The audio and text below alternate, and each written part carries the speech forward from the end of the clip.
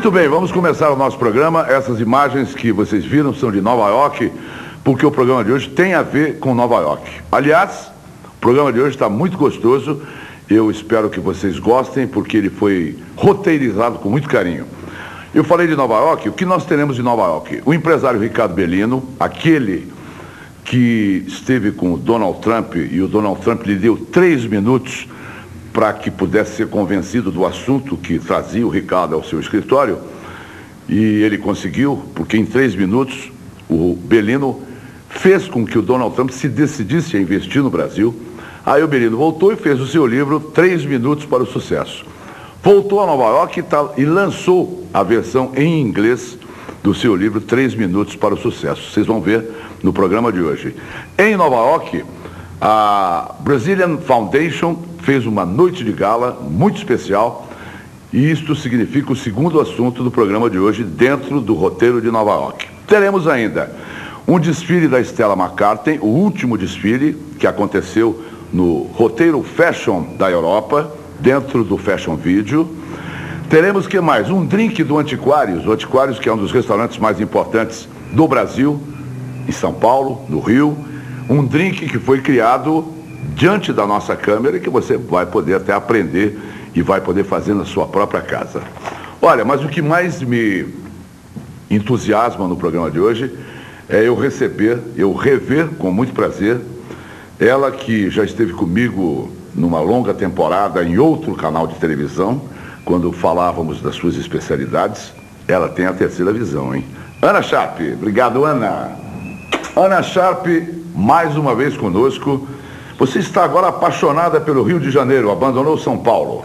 Pois é. Mas você é carioca. Eu é? sou carioquíssima, né? Passei 12 anos aqui em São Paulo, sou apaixonada por São Paulo, mas estou em love pelo Rio, pela minha cidade. Estou retornando desde abril que eu voltei para o Rio. E estou num lugar maravilhoso ali na praia de São Conrado, estou adorando. O mar descortinado. É. Olha, uma das coisas que mais me impressiona na Ana Sharp é que ela é uma estudiosa, desde quando era adolescente, dos fenômenos paranormais. Aliás, ela é, eu arriscaria dizer, uma das mais entendidas, uma das mais respeitadas quando o assunto se chama paranormalidade. Além disso, deixa eu apresentar você direito, né, Ana? Para quem, para a nova geração que está Claro. aí ligada.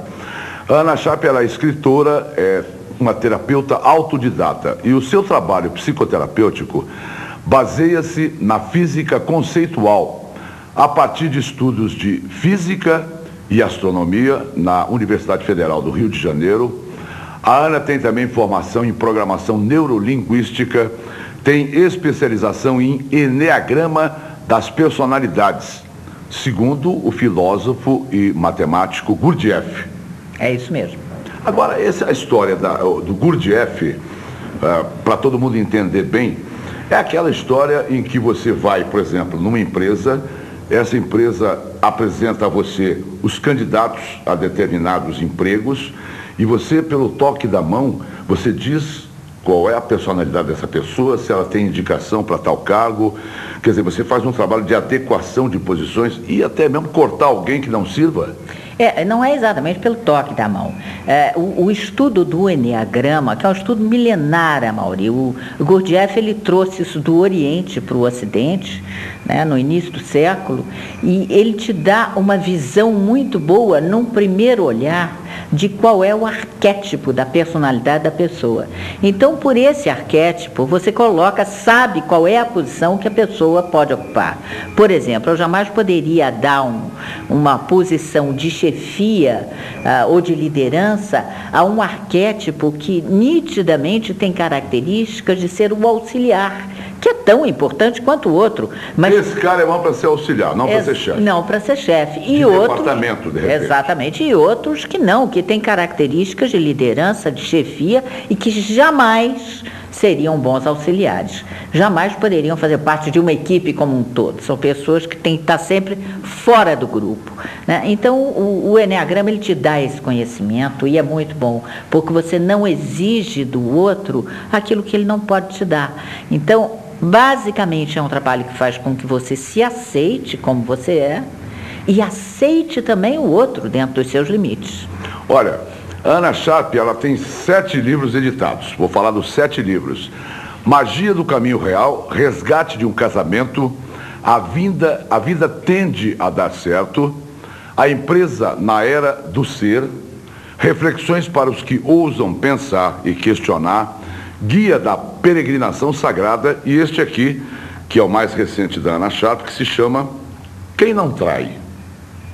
Todo Quem não trai? trai? Quem não trai? Não diga ainda. Espero que vai ser assunto daqui a pouco. Quem não trai? As muitas faces da infidelidade. Eu queria dizer ainda, Ana, para todo mundo, que eu acho isso rico na sua árvore genealógica, não é? Que você é neta de Ana de Assis, Tá certo? Exato. Ana de Assis foi casada com o escritor Euclides da Cunha. Foi a Ana de Assis que matou Euclides da Cunha? Não, não. Quem, como é que foi? Agora a história é, deu um Ana de Assis minha... foi casada com Euclides da Cunha e o abandonou pelo Dilermando de Assis, que é meu avô. Ah, ah E uh, o Euclides, ao eh, saber da história que ela estava vivendo com o com o Dilemando, foi até a casa deles tomar satisfações, lavar sua honra. E entrou atirando e o Dilermando se defendeu então e matou. Foi o Dilermando que matou. Foi. Matou o Euclides da Cunha. Na presença é, da Ana. Na presença da Ana.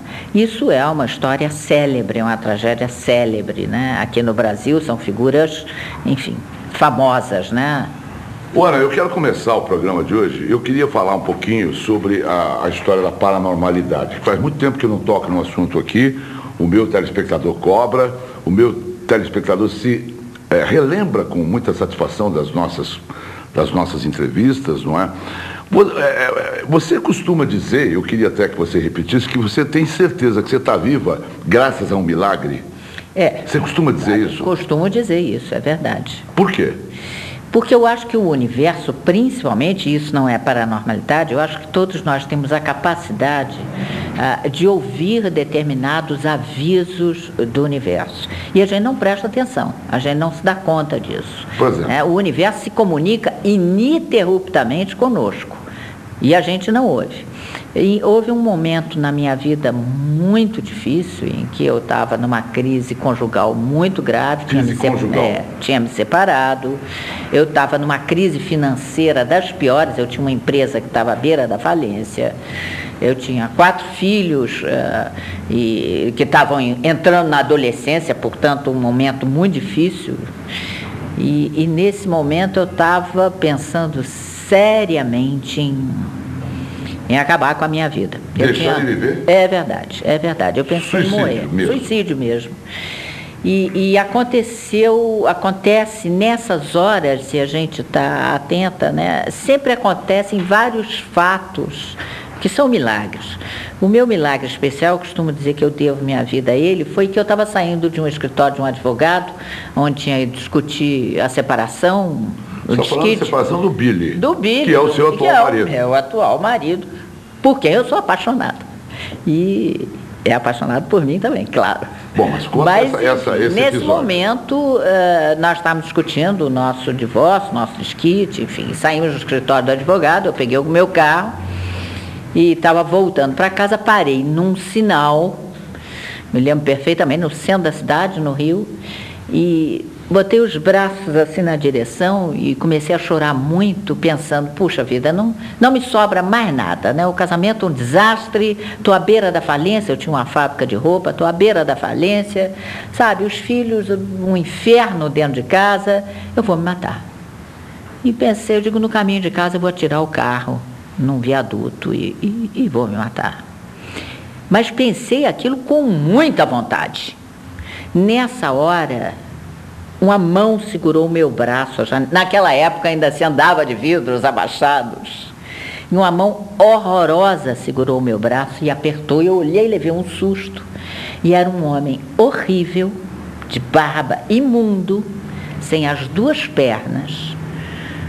Aquelas mãos horrorosas, ele em cima de um rolimã.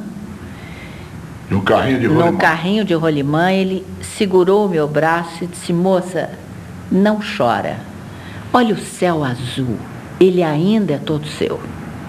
Esse homem soltou o meu braço e saiu entre os carros. Nunca mais eu o encontrei, a Mauri.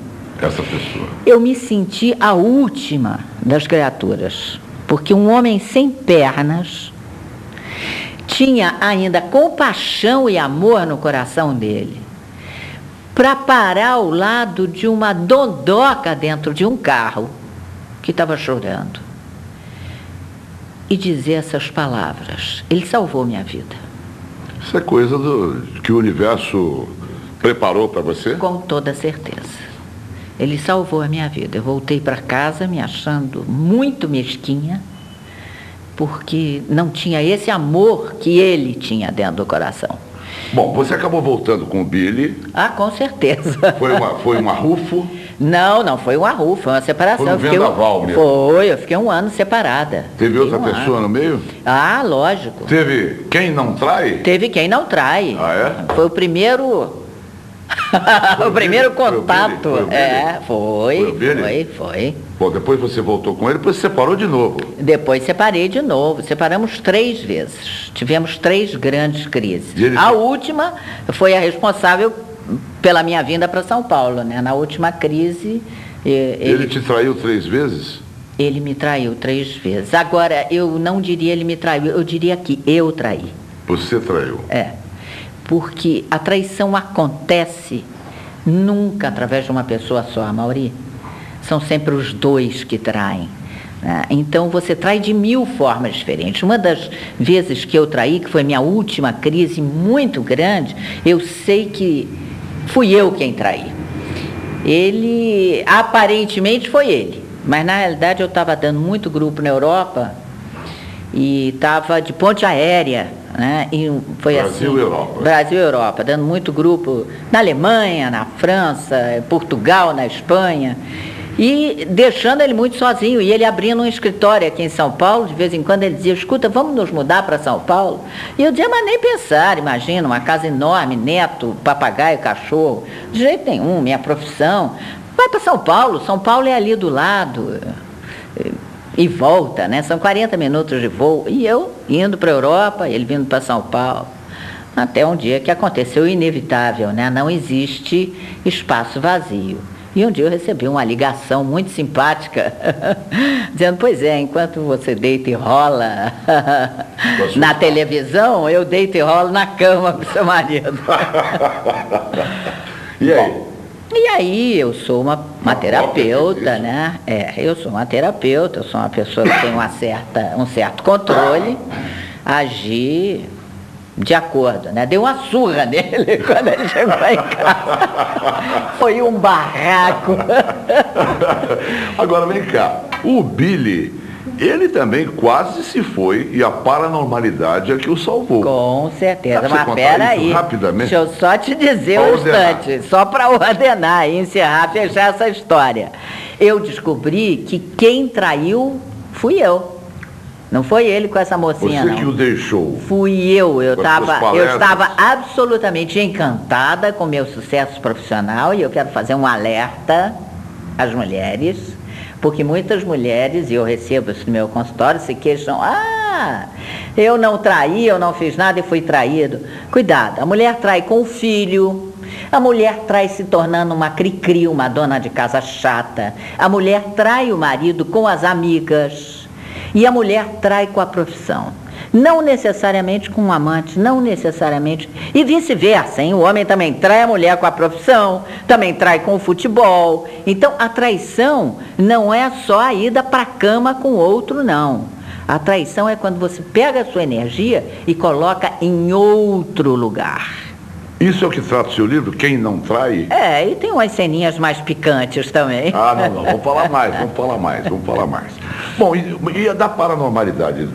O Billy, É, o Billy foi salvo, a vida dele foi salva além de você ter sido traída, literalmente. você o salvou, Não, eu não, um paranormal. mas você que levou. ah, fui eu que levei, com certeza, mas foi um paranormal. A vida do Billy foi salva literalmente. Ao que me consta, o Billy um estava paranormal. praticamente desenganado e morto. É, ele teve um infarte quando ele fez 50 anos, um grande infarte. Num Foi até hotel, atendido aqui. em- Ah, não! não, teve em casa mesmo. E ele foi atendido aqui em São Paulo, até pelo professor Adib Jatene, enfim, foi um, foi um, um infarto grande.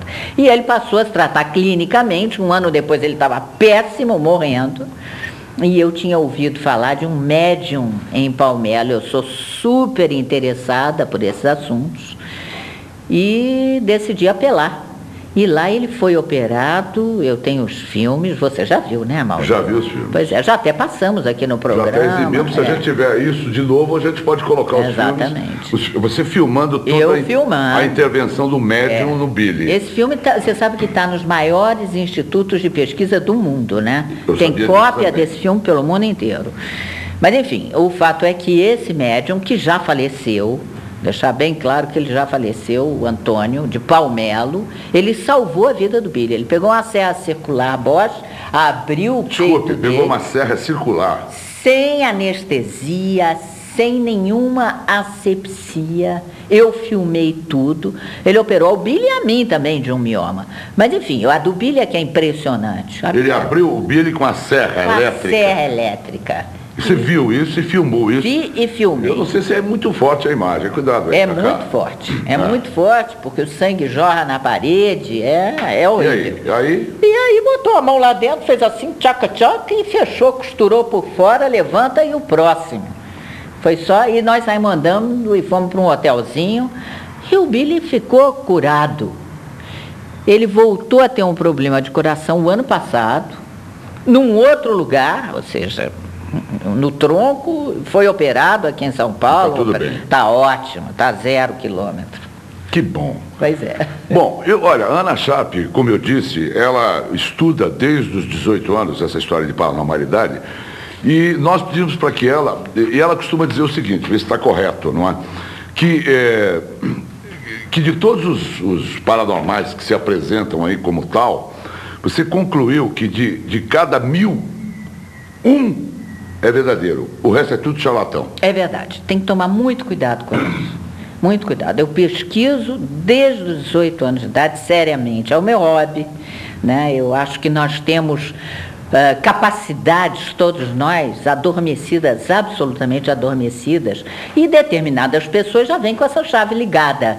Eu acho que é uma e você capacidade. Parece que você nós. faz questão de, de se submeter a paranormalidade dessas pessoas só para saber se é charlatão ou não. Ah, com certeza, com certeza. Eu sou meio kamikaze, eu entro em tudo. 50% do meu entra, a outra metade, os outros 50% observa. E o percentual é esse mesmo? Cada mil ah, é, é... Tem muito charlatão. Tem muita pessoa, sabe, mal intencionada mesmo, fazendo disso uma profissão para ganhar dinheiro como uma outra qualquer. Né? Eu quero falar de paranormalidade com a Ana Chape é, a seguir, porque eu tenho um monte de perguntas aqui. Ela vai dizer, inclusive, quais são os paranormais que ela respeita no Brasil. É bom a gente saber. Ah, claro. Daqui a pouquinho. Eu quero te levar até Nova York agora, porque o Ricardo Bellino, você ouviu a minha escalada, Sim. não é? O Ricardo Bellino foi lançar o seu livro, Três Minutos para o Sucesso, versão em inglês, que é o resultado daquele encontro com o Donald Trump, quando o Donald Trump disse a ele, você tem três minutos para me convencer Fantástico. do seu assunto. Em três minutos o Ricardo convenceu o Donald Trump para investir no Brasil. Aí fez o livro aqui com sucesso, três minutos para o sucesso, agora a versão em inglês, onde ele foi lançar? Na Trump Tower.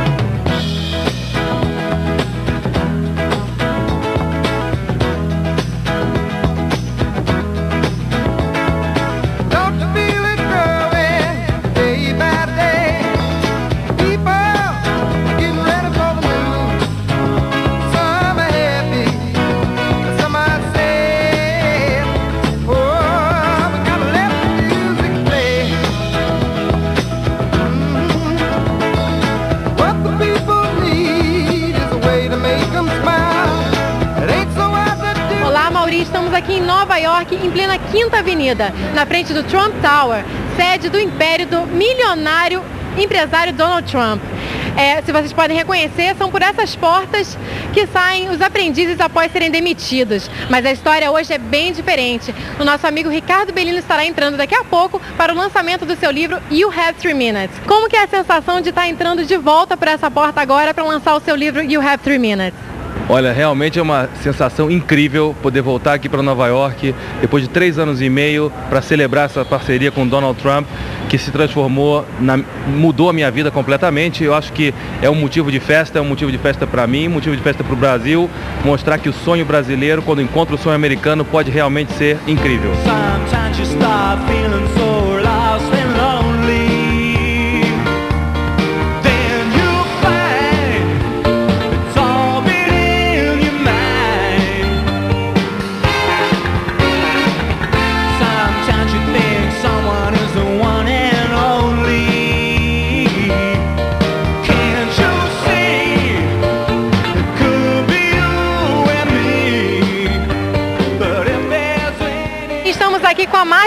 Andrade, que também participou, uma supermodelo, e participou também do Festival de Cinema aqui em Nova York. Então ela pode falar um pouquinho pra gente. Oi, Mauri, tudo bom? Estou morrendo de saudades. Faz tempo que eu não vou ao Brasil, mas estou indo em breve. Então, um, gostaria de falar de cinema, porque eu ajudei um, o MoMA, eu fui uma das patrocinadoras do evento Premier Brasil, que foi um grande sucesso aqui e eu tive a oportunidade de assistir filmes uh, brasileiros que eu achei o máximo. Estou assim, é, realmente surpresa com a qualidade do, do cinema brasileiro. Ah, bom, a grande novidade é que eu vou estar tá coproduzindo um longa no qual eu vou estar tá com participação. Uh, você é a atriz principal do filme. Protagonista. Protagonista do filme. E nós estamos agora na pré-produção, estamos escolhendo locação. O filme vai ser filmado aqui nos Estados Unidos, também um pouco é, no Canadá. E a mensagem que eu quero dar com esse filme, o roteiro tá, foi escolhido assim a dedo, porque eu queria um filme que mandasse uma mensagem inspiradora para as pessoas. E o meu personagem assim é super legal. Eu estou super animada, eu acho que vai ser super legal e eu espero te ver aí no Brasil, né?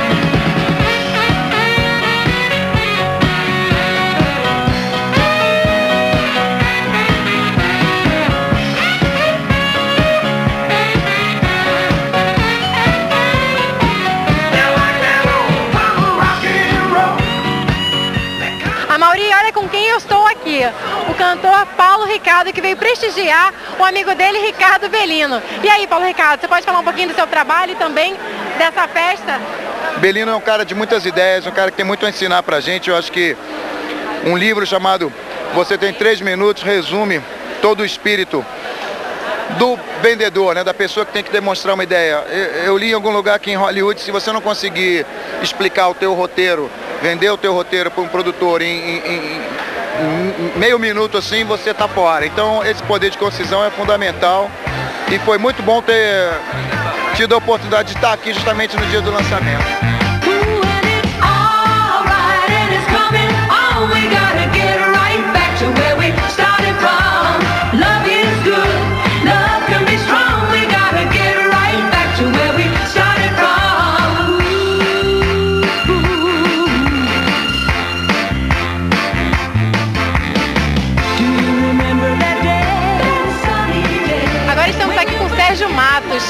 Foi um dos, uma das pessoas que conhecem bastante o Ricardo Bellino aqui, porque já trabalhou, inclusive, diretamente com ele. Você pode falar um pouquinho disso pra gente? Isso, foi em 1988 é, e eu recebi o convite para trabalhar na Elite. Foi exatamente esse empreendimento que ele veio aqui e trouxe levou para o Brasil. Foi a primeira agência internacional a chegar no Brasil e eu fui o primeiro caça-talentos da agência. Aí que fomos viajando o Brasil inteiro, fazendo um concurso, The Look of the Year, de onde surgiu toda uma geração de top models que hoje são as grandes tops do mundo. Tem que agradecer ao Belino, né? Que foi meu primeiro patrão. Com certeza. e agora também o Sérgio Matos, ele é empresário da modelo super famosa Raika. Então o que, que você tem para falar dessa modelo super, super modelo do Brasil? Olha, ela é, também é uma das meninas que a gente descobriu através do nosso concurso. Então a cada ano a gente descobria novas meninas. A Gisele Bündchen veio em 94, Ana Beatriz Barros, Isabelle Fontana, em 96 e a Raika em 99. Então foi todo graças a esse acompanhamento que nós tivemos Eu viajei o Brasil inteiro, sempre em busca de novos talentos. E agora, dois anos atrás, eu abri a minha própria agência, que chama 40 Graus, uma agência com a cara do Rio de Janeiro. Eu acho que eu devo tudo a esse início ali, onde eu aprendi tudo. Fiquei 12 anos na Elite. E eu tenho boas memórias né, desse início. E eu agradeço ao Ricardo dessa oportunidade, que foi ali que foi minha escola. Né? Muito obrigada, Sérgio. Carlos Iglesias, do grupo Rubaiá, que vai falar um pouquinho também da festa de lançamento do livro do Ricardo Belino. Olha, tá um espetáculo essa festa, achei assim muito interessante essa ideia dele fazer a festa aqui em Nova York, acho que tem um, um apelo muito grande para os brasileiros que estamos aqui morando e sofrendo nessa cidade de louco. E fala um pouquinho do seu trabalho também. Meu trabalho é um trabalho baseado aqui em Nova York, é um trabalho de nutrição e dietética. Eu vou publicá-lo agora no Brasil em novembro, no final de novembro, no restaurante Rubaiana Figueira. Vamos fazer uma noite de lançamento muito interessante sobre esse, esse novo livro aí que promete uh, esclarecer algumas dúvidas nutricionais para a população brasileira.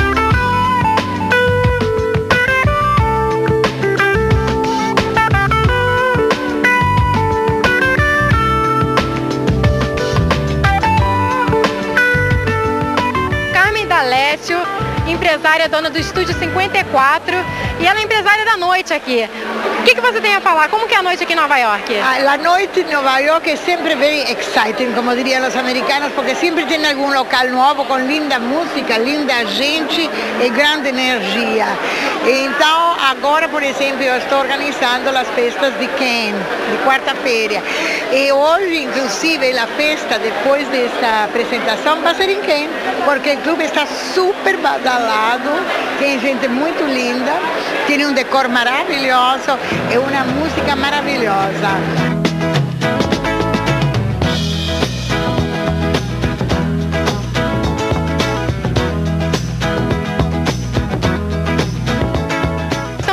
senador Ronald Rice, que está prestigiando mais uma festa brasileira. Ele é super conhecido já de estar em todas as festas. Ele é o senador em New Jersey, uma cidade que está cheia de brasileiros morando. I'm a state senator and I've had the opportunity to vote on issues affecting Donald Trump and his empire over the years.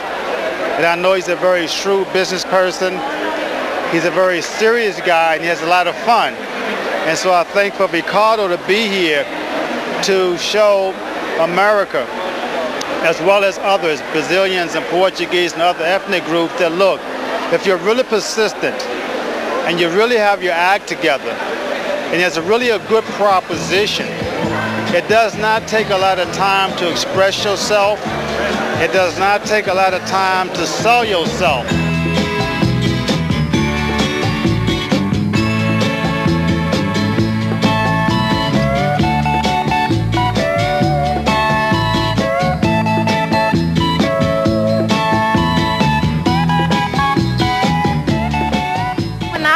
Marcelo, gerente regional de Nova York da TAM, que veio prestigiar o trabalho e o lançamento do Ricardo Belino.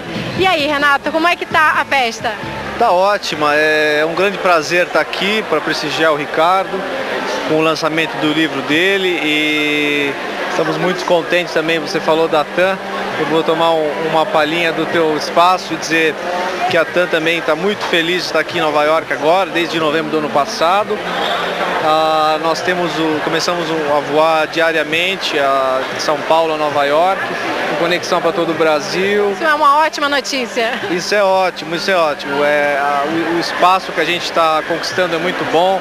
Hoje até saiu uma, uma notícia muito boa, a, o nível de ocupação dos voos da TAM no mercado doméstico de 51%, então a TAM é líder de mercado em, em períodos consecutivos no Brasil e conquistando também um índice muito alto no mercado internacional. Então é mais um, um, um, um motivo para festejar.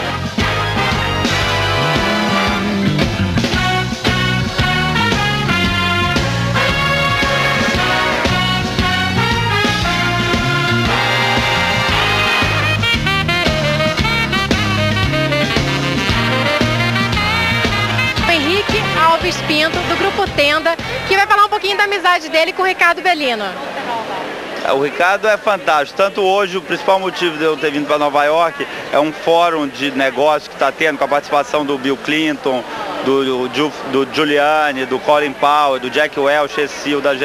E hoje de manhã eu encontrei com o Ricardo lá, é aqui no Radio City Music Hall, que é um fórum para empreendedores, para lideranças do mundo inteiro de negócios, para a gente se reciclar, para aprender novas técnicas de liderança. Então, líderes de diversas áreas, como política, economia, etc., estão falando. Então, o Ricardo é impressionante, porque sempre ele está procurando se reciclar, aprender, essa coisa de empreendedorismo é a cara dele mesmo. Ele está de parabéns pelo evento, pelo livro, pelo que o, Donald Trump acabou de falar dele ali, realmente um cara notas 10.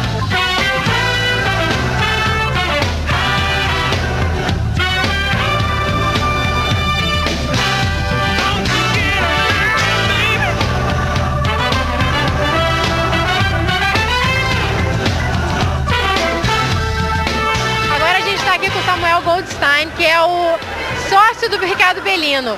Então, é, Samuel, Ricardo tem todas essas ideias, inventa as coisas e é você que executa. Como que é isso? Bom, é um time, né? A gente, ele é muito criativo e a gente deixa ele acelerar, deixa ele acelerar e mas você precisa de alguém para depois ficar na retaguarda e fazer essas ideias virarem realidade. Então é muito importante o que o Ricardo faz, porque se ele não tivesse essas ideias e não, não, não viajasse, a gente não tinha material para trabalhar e fazer esses projetos todos que a gente vem fazendo junto e graças a Deus com muito sucesso.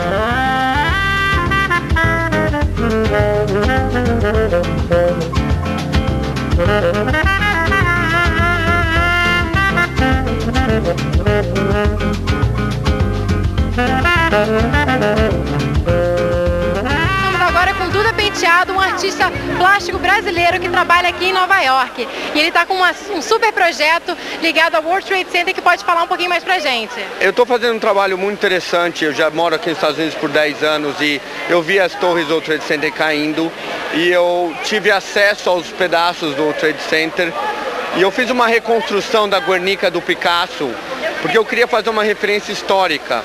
Quando, você, quando eu vi o primeiro avião entrando, eu, eu pensei que era um, um, simplesmente um acidente. Quando você vê o segundo, eu sabia que era uma coisa maior. E aí eu comecei a refletir e eu desenvolvi essa obra. E por cinco anos eu já venho fazendo esse projeto e agora está indo para outros países.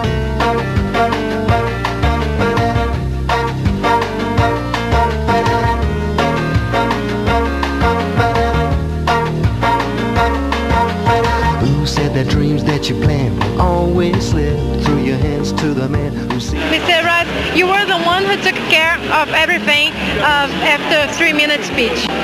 What is your idea about uh, Mr. Ricardo Bellino? I think he's great. I think he's a tremendous talent. I think he put uh, together a project that nobody else could put together. Uh, he convinced Mr. Trump that it would work and then convinced me that it would work and really took an idea and made it happen.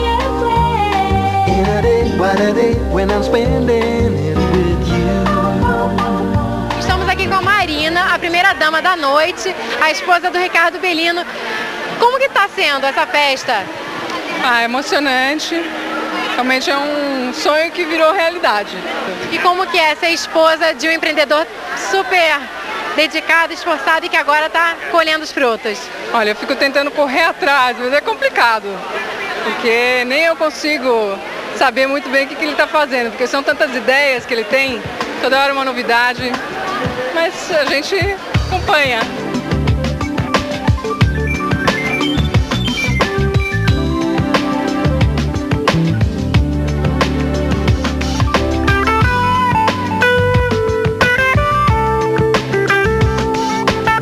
Como que foram os convidados? Olha, eu estou muito feliz, eu acho que é a consagração máxima para mim estar aqui lançando o livro, ter a presença do Donald. Eu acho que a menção dele, a, a, o speech dele fala por si. Eu acho que realmente esse realmente é o melhor reconhecimento que eu podia ter por todo esse esforço, por todo esse trabalho. Então acho que é só alegria, só motivo de comemoração. Eu acho que realmente, eu acho que o Brasil provou mais uma vez que pode fazer a diferença não só nos esportes, não só no futebol, mas por que não no business.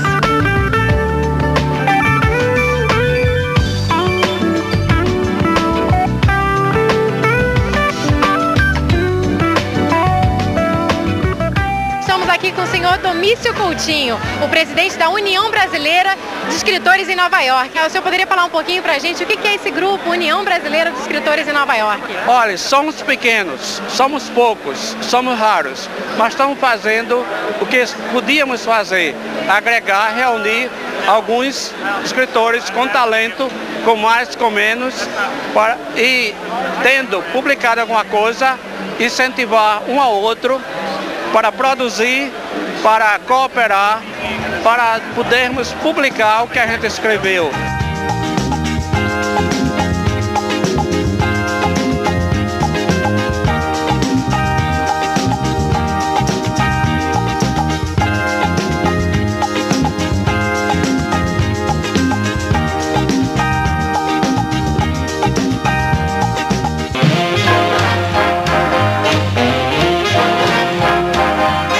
Voltamos com o programa, sei que vocês estão ansiosos, eu também, para continuar a conversa com a nossa querida Ana Sharp, escritora e terapeuta.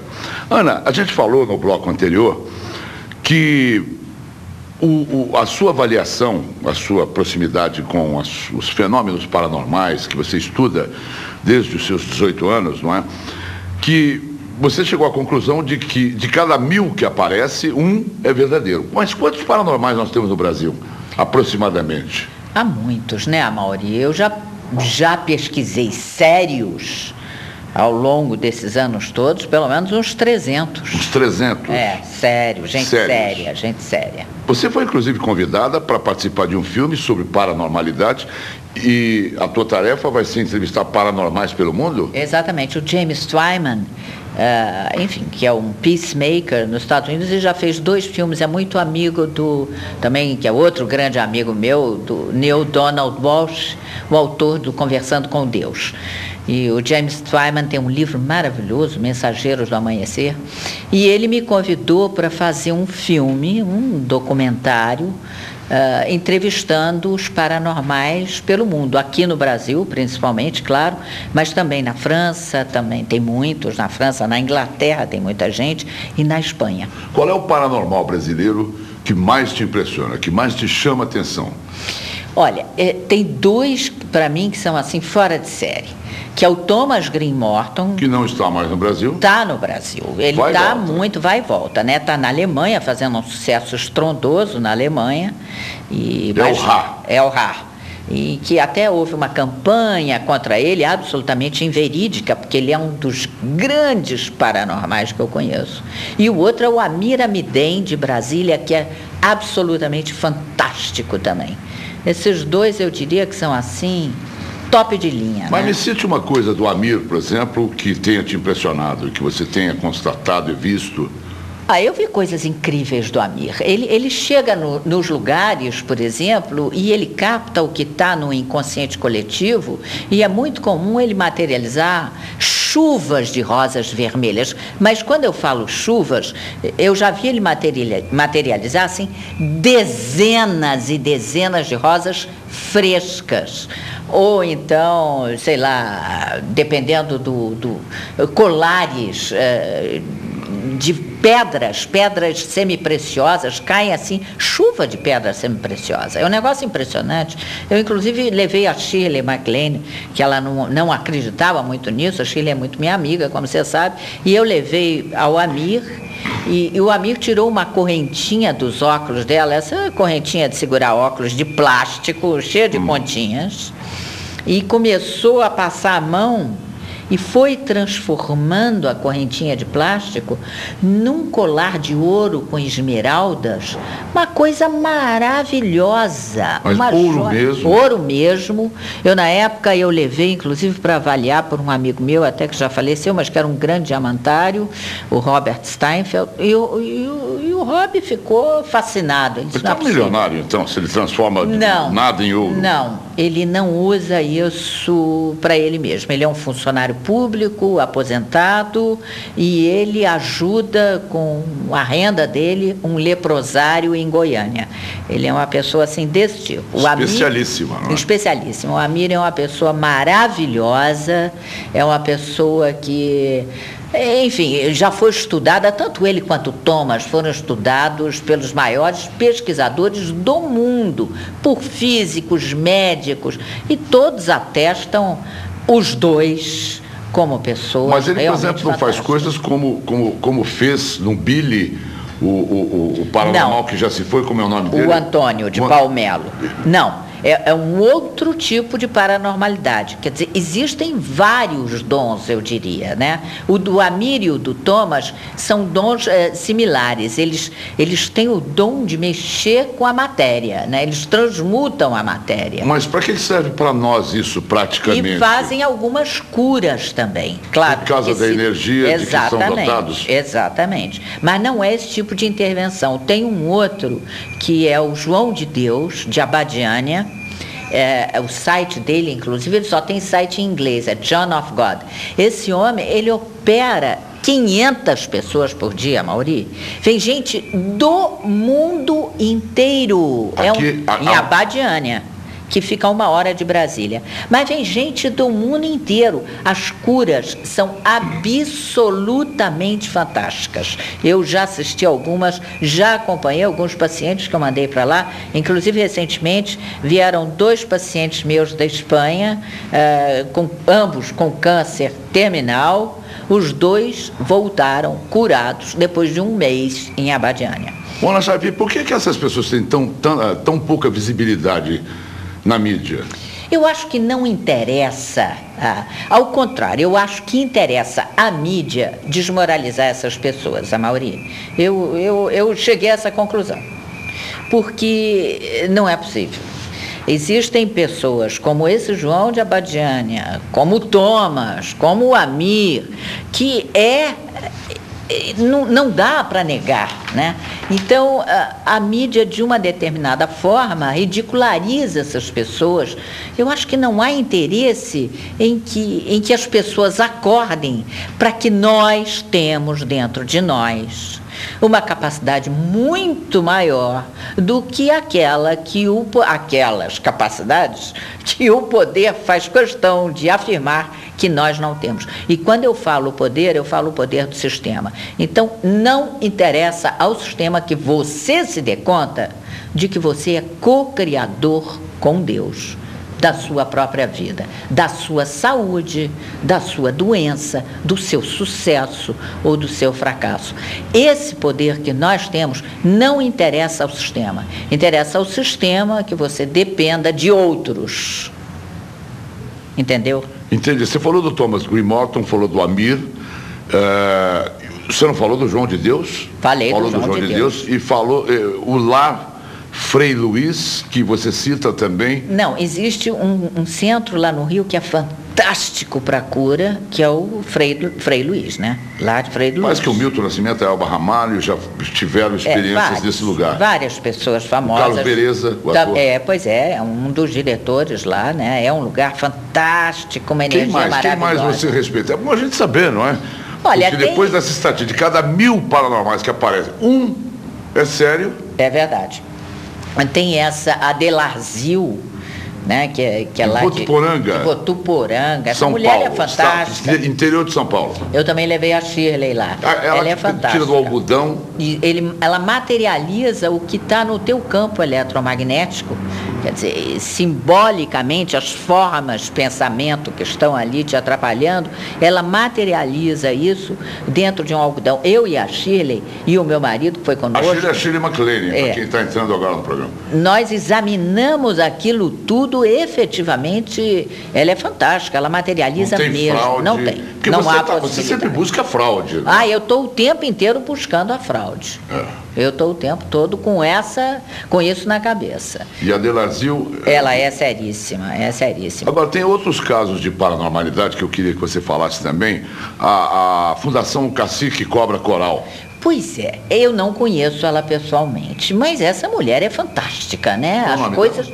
é, Adelaide? Adelaide, Adelaide. exatamente, Adelaide. Adelaide. Ela, ela é fantástica, né? O que ela tem feito aí, não só aqui no Brasil, em termos de clima, como pelo mundo, essa mulher é maravilhosa. Essa que recebe esse cacique cobra coral, né? Ela consegue desviar um excesso de chuva, fazer chover onde precisa, onde tem seca.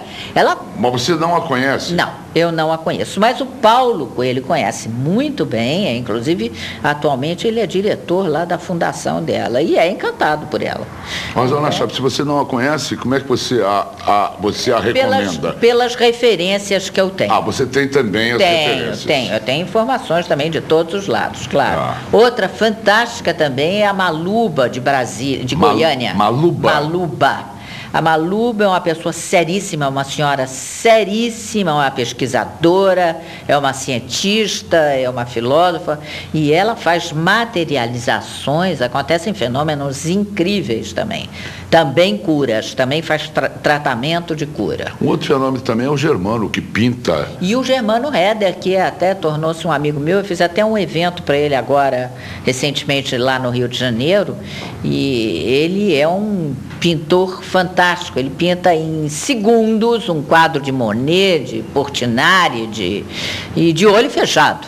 Quer dizer, ele fecha os olhos e, e pinta, ele recebe né, a energia desses grandes pintores. Naquela época que eu andava por perto de você, nas pesquisas, e que nós fizemos os programas no outro canal, ah, eu me lembro que o Sérgio Jorge me apresentou a uma pessoa que tinha, que tinha, que tinha a habilidade de de noite ficar girando o seu rádio e através de ondas artesianas sintonizar vozes dos mortos. É, isso eu já fiz, Amauri. Eu fiz isso em 1971, 72 e 73. Aliás, eu conheci um dos físicos, o, o Bender, ah, um alemão. Na época eu fui até a Alemanha, porque eu sou daquele tipo que vou atrás, né, Eu sei disso.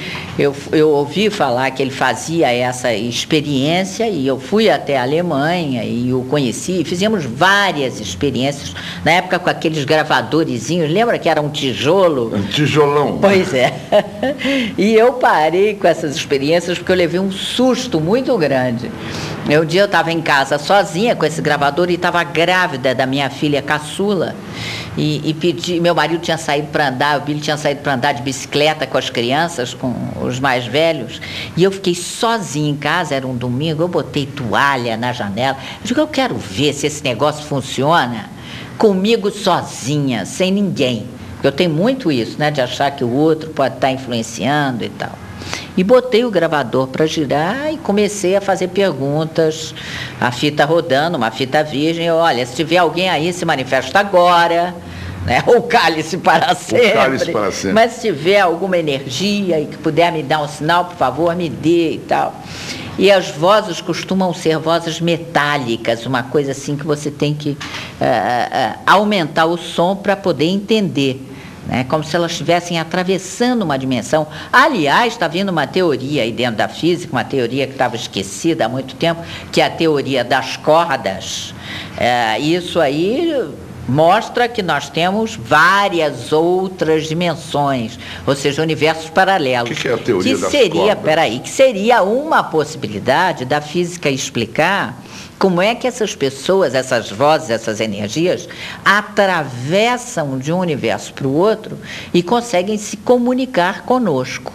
Então, nesse dia que eu estava com o gravador ali ligado e fazendo essas perguntas, de repente eu digo, bom, chega, a fita já tinha rodado quase que inteira, deixa eu ouvir de volta. Dei o rewind e, e botei a fita no início de novo. Mal eu botei a fita no início, uma voz que era além da voz metálica de homem, alta, disse: não mexa no desconhecido. Só isso, Amauri. Aí nunca mais você. Eu estava com um barrigão, de nove meses. Eu Aí você agarrei o abandonou ele. gravador, abri a janela, joguei o gravador, fiquei com medo assustadíssimo. Assustadíssima. Fiquei um ou dois anos sem mexer com nada. Depois, claro que voltei. Mas você vê que o negócio está ali, tem. É, eu, eu também, nós também ouvimos. eh, nossa impressionante. pesquisa, é impressionante. É não é? impressionante, impressionante. ô, ô, Ana, você, eh, você acredita em discos voadores? Eu acredito, Amaury, eu tenho uma frustração enorme, eu nunca vi nenhum. Mas eu tenho uma fazenda no alto da Serra da Bocaina, que é o meu lugar predileto no mundo. E outro dia eu tive a frustração de chegar lá e todo mundo na Serra da Bocaina, o pessoal todo que mora por lá, meu caseiro inclusive, todos viram três objetos voadores em frente à nossa casa. E eu não vi. Você vê que frustração, né? Que o Fábio castigo. Júnior viu, a Joana viu, quem mais que a gente já entrevistou aqui? O Lars, não, a Joana não viu, não, a Joana é outro fenômeno. Mas olha aqui, nós recebemos da revista OVNI, eles estão sempre se interrelacionando com outros centros pesquisadores de OVNIs, não é? Dá para a gente botar no ar agora? São imagens que eles vão recolhendo e juntando nas fitas para mostrar. É uma profusão de imagens. É impressionante. É impressionante, É, é quase que impossível você deixar de acreditar. Não, é claro que existe. A Raquel de Queiroz me contou que viu com absoluta nitidez.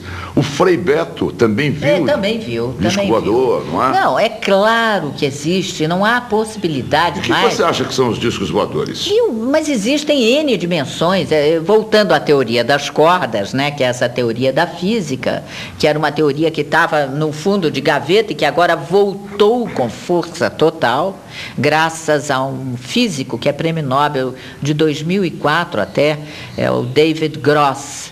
Ele levantou e está trazendo essa teoria com força toda porque ela daria uma explicação, ela conseguiria unir a mecânica eh, newtoniana, quer dizer, que é, da- que é como é que funciona, e a física explicando como é que funcionam os objetos, a, a matéria densa, ela conseguiria unir a mecânica newtoniana com a física quântica, que é a física que explica as subpartículas, né? E que estão so- aparentemente sob leis completamente diferentes.